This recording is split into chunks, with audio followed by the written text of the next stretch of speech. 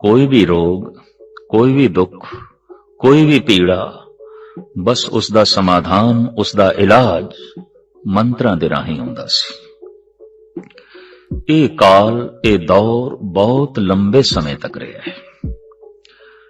ਔਰ ਚूंकि ਰੋਗ ਅਨੇਕਾਂ ਨੇ, ਅਨੇਕਾਂ ਤਰ੍ਹਾਂ ਦੀ ਪੀੜਾ ਹੈ, ਅਨੇਕਾਂ ਤਰ੍ਹਾਂ ਦੇ ਕਲ ਕਲੇਸ਼ ਨੇ ਇੱਕ ਇੱਕ ਵਿਅਕਤੀ ਹਜ਼ਾਰਾਂ ਤਰ੍ਹਾਂ ਦੀ ਪੀੜਾ ਦੀ ਪੰਡ ਚੁੱਕੀ ਫਿਰਦਾ ਹੈ।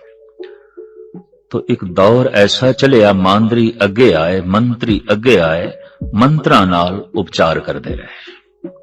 ਚਾਹੇ ਅੱਖ ਦੁਖਦੀ ਹੈ ਚਾਹੇ ਦਾੜ ਦਾ ਦੁਖਣਾ ਹੈ ਚਾਹੇ ਪੇਟ ਦਾ ਦਰਦ ਹੈ ਚਾਹੇ ਤਰ੍ਹਾਂ ਤਰ੍ਹਾਂ ਦੇ ਰੋਗ, ਬਿਮਾਰੀਆਂ ਨੇ, ਜਾਂ ਕੁਝ ਘਰੇਲੂ ਕਲ ਕਲੇਸ਼ ਹੈ, ਇਹਨਾਂ ਦਾ ਇਲਾਜ ਮੰਤਰਾਂ ਨਾਲ ਹੁੰਦਾ ਰਿਹਾ ਹੈ ਔਰ ਵੱਖ-ਵੱਖ ਮੰਤਰਾਂ ਦੇ ਆਪਣੇ ਆਪਣੇ ਨਾਮ ਸਨ। ਬਿੱਛੂ ਦੇ ਡੰਗ ਦਾ ਮੰਤਰ। ਸੱਪ ਦੇ ਵੀ ਡੰਗ ਦਾ ਮੰਤਰ। ਉਹ ਜੋ ਮੰਤਰ ਸੱਪ ਦੀ ਜ਼ਹਿਰ ਉਤਾਰ ਦਿੰਦਾ ਸੀ ਤੇ ਸੱਪ ਨੂੰ ਬੇਹੋਸ਼ ਕਰ ਦਿੰਦਾ ਸੀ, ਉਸ ਮੰਤਰ ਦਾ ਨਾਮ ਹੈ ਗੌਰੜੀ ਮੰਤਰ। ਜਿਸ ਦਾ ਜ਼ਿਕਰ ਗੁਰੂ ਅਰਜਨ ਦੇਵ ਜੀ ਮਹਾਰਾਜ ਇਸ ਪਾਵਨ ਪਵਿੱਤਰ ਸ਼ਲੋਕ ਵਿੱਚ ਕਰ ਰਹੇ ਨੇ। ਅਨੰਤ ਕਾਲ ਤੋਂ ਸਾਡੇ ਦੇਸ਼ ਦੇ ਸਪੇਰੇ ਔਰ ਕੁਝ ਹੋਰ ਸਿਆਣੇ ਇਸ ਮੰਤਰ ਦੀ ਵਾਕਫੀਅਤ ਰੱਖਦੇ ਆਏ ਨੇ ਔਰ ਇਸ ਮੰਤਰ ਦੇ ਜਾਪ ਦੇ ਨਾਲ ਉਹ ਸਭ ਪਕੜਦੇ ਰਹੇ ਨੇ ਔਰ ਉਹਨਾਂ ਦਾ ਅੱਜ ਵੀ ਐਸਾ ਕਹਿਣਾ ਹੈ ਕਿ ਸਾਡਾ ਮੰਤਰ 1 ਸਾਲ ਤੱਕ ਹੀ ਕੰਮ ਕਰਦਾ ਹੈ, ਖਾਸ ਕਰਕੇ ਫਨੀਅਰ ਨਾਲ ਉਸ ਨੂੰ ਅਸੀਂ ਸਾਲ ਤੋਂ ਬਾਅਦ ਛੋੜ ਦਿੰਦੇ ਹਾਂ। ਔਰ ਛੋੜਦੇ ਹੋਏ ਇਹ ਦੇਖੇ ਗਏ ਨੇ।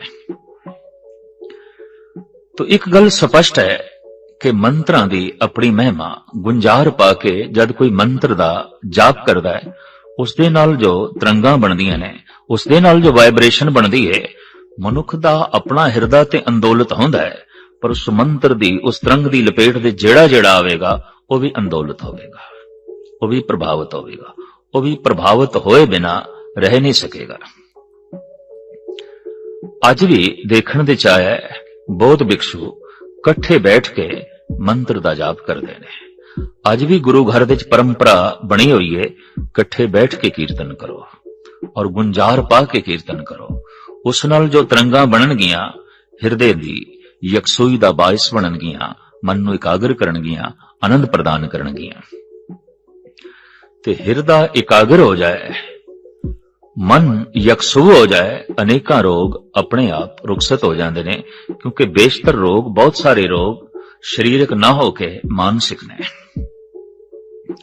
ਤੋ ਖੈਰ, ਇੱਕ ਦੌਰ ਐਸਾ ਲੰਘਿਆ ਜਦ ਅਜੇ ਮਨੁੱਖ ਨੂੰ ਜੜੀ ਬੂਟੀਆਂ ਦਾ ਗਿਆਨ ਨਹੀਂ ਸੀ।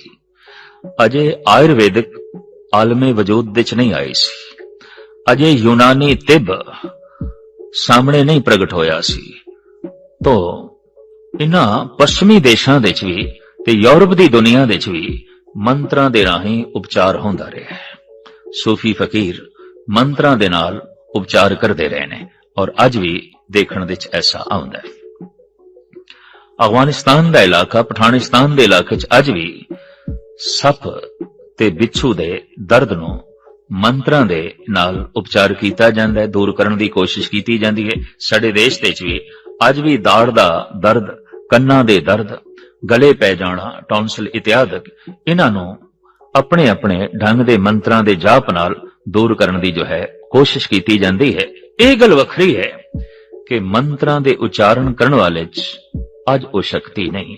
ਜੈਸੇ ਦਵਾਈਆਂ ਤੇ ਬਹੁਤ ਅੱਛੀਆਂ ਹੋਣ ਪਰ ਹਕੀਮ ਸਿਆਣਾ ਨਾ ਹੋਵੇ ਨਵਜ਼ ਦੀ ਪਹਿਚਾਣ ਨਾ ਹੋਵੇ, ਰੋਗ ਨੂੰ ਸਮਝ ਨਾ ਸਕੇ, ਰੋਗ ਦਾ ਕਾਰਨ ਵੀ ਉਹ ਨਾ ਜਾਣਦਾ ਹੋਵੇ ਤੇ ਚੰਗੀਆਂ ਤੋਂ ਚੰਗੀਆਂ ਦਵਾਈਆਂ ਵੀ ਕੀ ਕਰਨਗੀਆਂ? ਉਹ ਕਿਵੇਂ ਦੇਵੇਗਾ? ਕਿਸ ਮਿਕਦਾਰ ਵਿੱਚ ਦੇਵੇਗਾ?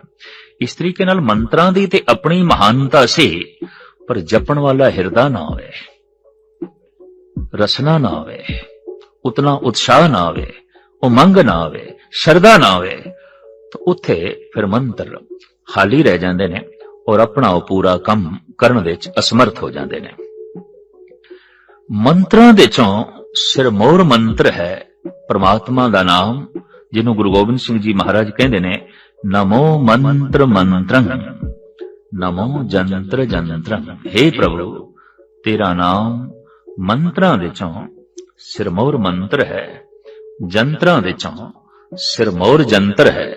ਕੋਈ ਵੀ ਮੰਤਰ ਇੱਕ ਰੋਗ ਨੂੰ ਦੂਰ ਕਰੇਗਾ। ਪਰ हे ਪ੍ਰਭੂ, ਤੇਰਾ ਨਾਮ ਮੰਤਰ ਐਸਾ ਹੈ, ਸਾਰੇ ਰੋਗਾਂ ਨੂੰ ਦੂਰ ਕਰ ਦਿੰਦਾ ਹੈ। ਸਰਬ ਰੋਗ ਕਾ ਔਖਦ ਨਾਮ ਸੰਸਾਰ ਰੋਗੀ ਨਾਮ ਦਾਰੂ ਮੈਲ ਲਾਗੇ। ਸੱਚ ਬਿਨਾ ਗੁਰੂ ਨਾਨਕ ਦੇਵ ਜੀ ਮਹਾਰਾਜ ਕਹਿੰਦੇ ਨੇ, ਸੰਸਾਰ ਦੇ ਸਾਰੇ ਰੋਗਾਂ ਦਾ ਇਲਾਜ ਪ੍ਰਭੂ ਦਾ ਨਾਮ ਹੈ। ਨਾਮ ਹਿਰਦੇ 'ਚ ਵਸ ਗਿਆ ਹੈ। ਪਰਮ ਆਨੰਦਿਤ ਮਨੁੱਖ ਕਿਸੇ ਨੂੰ ਦੁਖੀ ਨਹੀਂ ਕਰੇਗਾ, ਪੀੜਤ ਨਹੀਂ ਕਰੇਗਾ। ਬਹੁਤ ਸਾਰੇ ਸਮਾਜਿਕ ਮਸਲੇ ਆਪਣੇ ਆਪ ਹੱਲ ਹੋ ਜਾਂਦੇ ਨੇ।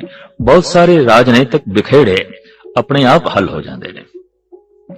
ਔਰ ਅਨੇਕਾਂ ਸਰੀਰਕ ਰੋਗ ਸਰੀਰ ਵਿੱਚੋਂ ਨਿਕਲ ਜਾਂਦੇ ਨੇ, ਮਨ ਦੇ ਸਵਸਥ ਹੁੰਦੇ ਆ ਚਾਰੋਂ ਪਾਸੇ ਜੋ ਵਾਤਾਵਰਣ ਬਣਦਾ ਹੈ, ਉਹ ਸਵਸਥ ਬਣਦਾ ਹੈ, ਤੰਦਰੁਸਤ ਬਣਦਾ ਹੈ, ਮਹਾਨ ਬਣਦਾ ਹੈ। ਤਾਂ ਇੱਕ ਬੜਾ ਸੁੰਦਰ ਉਦਾਹਰਣ ਦਿੱਤਾ ਹੈ, ਗੁਰੂ ਅਰਜਨ ਦੇਵ ਜੀ ਮਹਾਰਾਜ ਨੇ, ਦਸਨ ਬਿਹੂਨ ਭਯੰਗੰ ਮੰਤਰੰ ਗਾਰੜੀ ਨਿਵਾਰਨ ਜੈਸੇ ਸਪੇਰਾ ਗਾਰੜੀ ਮੰਤਰ ਦਾ ਜਾਪ ਕਰਕੇ ਸੱਪ ਨੂੰ ਦੰਦਾਂ ਤੋਂ ਬਿਨਾ ਕਰ ਦਿੰਦਾ ਹੈ, ਦਸਨ ਬਿਹੂਨ ਦੰਦ ਦੰਦਾਂ ਤੋਂ ਬਿਨਾ ਕਰ ਦਿੰਦਾ ਹੈ, ਔਰ ਸੱਪ ਦੀ ਜ਼ਹਿਰ ਉਤਾਰ ਦਿੰਦਾ ਹੈ।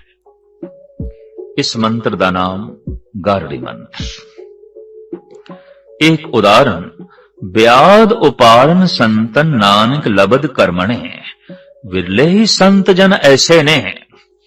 ਜੋ ਪ੍ਰਮਾਤਮਾ ਦੇ ਨਾਮ ਮੰਤਰ ਦਾ ਜਾਪ ਕਰਕੇ ਆਪਣੇ ਜੀਵਨ ਵਿੱਚੋਂ ਵਿਕਾਰਾਂ ਦੀ ਜ਼ਹਿਰ ਕੱਢ ਦਿੰਦੇ ਨੇ।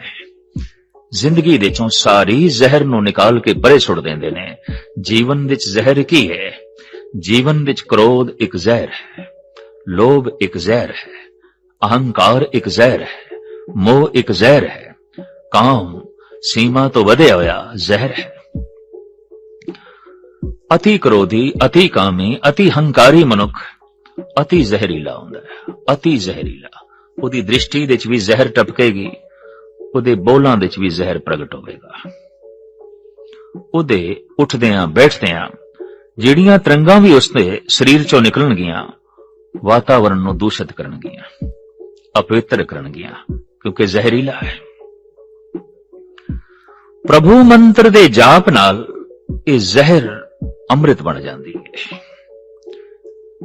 ਮੈਲਾ ਅਗਰ ਬੇਰੇ ਹੈ ਭਯੰਗਾ ਬਿਖ ਅੰਮ੍ਰਿਤ ਬਸੇ ਇੱਕ ਸੰਗਾ ਜ਼ਹਿਰ ਤੇ ਅੰਮ੍ਰਿਤ ਦੀ ਕੋਈ ਬਹੁਤ ਵੱਡੀ ਦੂਰੀ ਨਹੀਂ ਹੈ ਪੜੋਸੀ ਨੇ ਨਿਕਟਵਰਤੀ ਨੇ ਹੋ ਗੁਜ਼ਰਿਆ ਇਸ ਸਦੀ ਦਾ ਬੜਾ ਪ੍ਰਸਿੱਧ ਦਾਰਸ਼ਨਿਕ ਉਰਦੂ ਦਾ ਸ਼ਾਇਰ ਡਾਕਟਰ ਮੁਹੰਮਦ ਇਕਬਾਲ ਉਹ ਕਹਿੰਦਾ ਹੈ ਜੋ ਜ਼ਹਿਰ ਹਲਾ ਹਲ ਹੈ वही अमृत है नादा ਮਾਲੂਮ ਨਹੀਂ ਤੁਝਕੋ ਅੰਦਾਜ਼ ਹੈ ਪੀਣੇ ਕੇ ਇਹ ਤੇ ਪੀਣ ਦਾ ਢੰਗ ਹੈ। ਅਗਰ ਕਿਸੇ ਨੂੰ ਪੀਣ ਦਾ ਢੰਗ ਆ ਗਿਆ ਹੈ, ਤਾਂ ਅੰਮ੍ਰਿਤ ਹੈ, ਤੇ ਜੇ ਪੀਣ ਦਾ ਢੰਗ ਨਹੀਂ ਆਇਆ, ਤਾਂ ਜ਼ਹਿਰ ਹੈ। ਜੋ ਜ਼ਹਿਰ ਹਲਾ ਹਲ ਹੈ, ਵਹੀ ਅੰਮ੍ਰਿਤ ਹੈ ਨਾਦਾਨ। ਐ ਨਾਦਾਨ, ਜੋ ਜ਼ਹਿਰ ਹਲਾਹਲ ਹੈ, ਸੰਖਿਆ ਹੈ, ਇਹ ਅੰਮ੍ਰਿਤ ਹੈ। ਫ਼ਰਕ ਸਿਰਫ ਇਤਨਾ ਹੈ ਕਿ ਤੇਰੇ ਕੋਲ ਪੀਣ ਦਾ ਢੰਗ ਹੋਣਾ ਚਾਹੀਦਾ ਹੈ।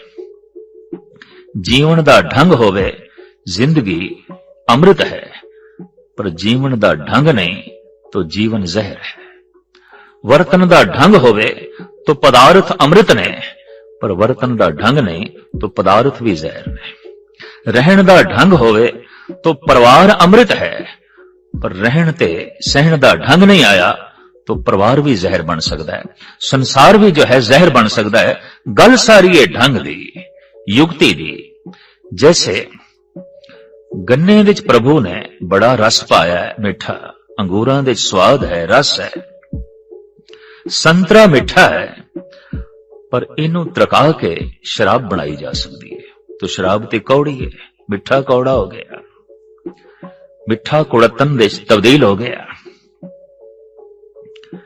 ਤੇ ਜੇ ਮਿੱਠਾ ਕੌੜਾ ਹੋ ਸਕਦਾ ਹੈ ਤੋ ਕੌੜੇ ਨੂੰ ਮਿੱਠਾ ਵੀ ਕੀਤਾ ਜਾ ਸਕਦਾ ਹੈ। ਸੰਖਿਆ, ਅਤੀ ਕੌੜਾ ਅਤੀ ਕੌੜਾ। ਪਰ ਵੈਦ ਲੋਕ ਮਾਰ ਕੇ ਜਦ ਉਸ ਨੂੰ ਕੁਸ਼ਤਾ ਬਣਾ ਲੈਂਦੇ ਨੇ, ਤਾਂ ਬੜਾ ਕਾਰਾਮਦ ਹੋ ਜਾਂਦਾ ਹੈ। ਸੱਪ ਦੀ ਜ਼ਹਿਰ ਦੀਆਂ ਵੀ ਦਵਾਈਆਂ ਬਣਦੀਆਂ ਨੇ ਔਰ ਅਨੇਕਾਂ ਰੋਗਾਂ ਦੇ ਵਿੱਚ ਉਹਨਾਂ ਦਾ ਉਪਚਾਰ ਹੁੰਦਾ ਹੈ। ਤੇ ਜ਼ਹਿਰ ਦਵਾਈ ਬਣ ਗਈ ਹੈ, ਢੰਗ ਹੋਵੇ। ਅਗਰ ਢੰਗ ਨਹੀਂ, ਤਾਂ ਦਵਾਈ ਵੀ ਜ਼ਹਿਰ ਬਣ ਜਾਏਗੀ। जो जहर हला हल है वही अमृत है नादा मालूम नहीं तुझको अंदाज है पीने के इते पीण ਦਾ ਢੰਗ ਹੈ ਜਿਸ ਨੂੰ ਆ ਜਾਏ ਅੰਮ੍ਰਿਤ ਹੈ ਜਿਹਨੂੰ ਢੰਗ ਨਹੀਂ ਆਇਆ ਤੋ ਜ਼ਹਿਰ ਹੈ